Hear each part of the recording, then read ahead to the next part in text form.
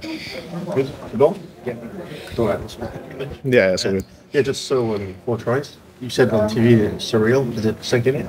Yeah, unbelievable. Um, it hasn't sunk in. No, I don't think it will sink in for a while. Um, yeah, I can't believe what's happened. I'm really glad that we should, we put out a proper team performance there. You know, not conceding any tries. That's that's how we wanted to go into this game. You know, be ruthless and uh, really proud of everyone.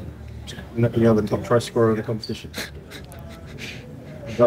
yeah, it's all right, but um, ultimately, if we want to win something, and that's the main priority. You know, the individual stuff's fun, but it doesn't really mean anything if you don't win the game. So that's the main focus. And an individual performance like that, how much of remark can you put down to it? Start more games? Yeah, I mean that's it's you know it's great scoring that type of thing, but you know there's more to the game than that. Um, so there's more focus that I've had around the game, um, certain aspects that I've spoken with the coaches about. So that's my main focus really.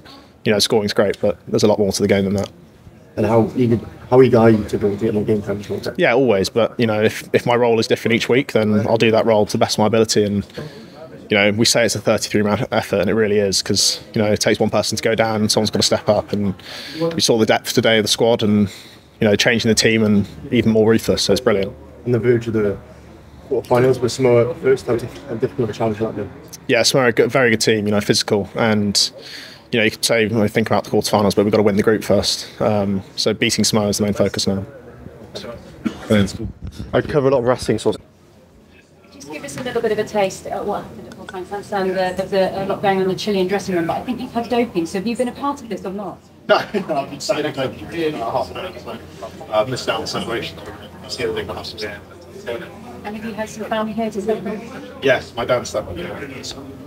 Yeah, I'll see you uh, the, uh, the, the most tries scored in one match. Um, Josh Lewsey, how's that feel? That's cool. I wish someone had told me that. Actually try and get the ball more. Um, but no, I'm really grateful to all the coaches for you know, having faith in me, telling me all week, you know, back your instincts, and then obviously the players. You know, some of those tap-ins were done by the work done inside, so I'm really grateful to them for giving me the ball just to put the ball down the line. And who did you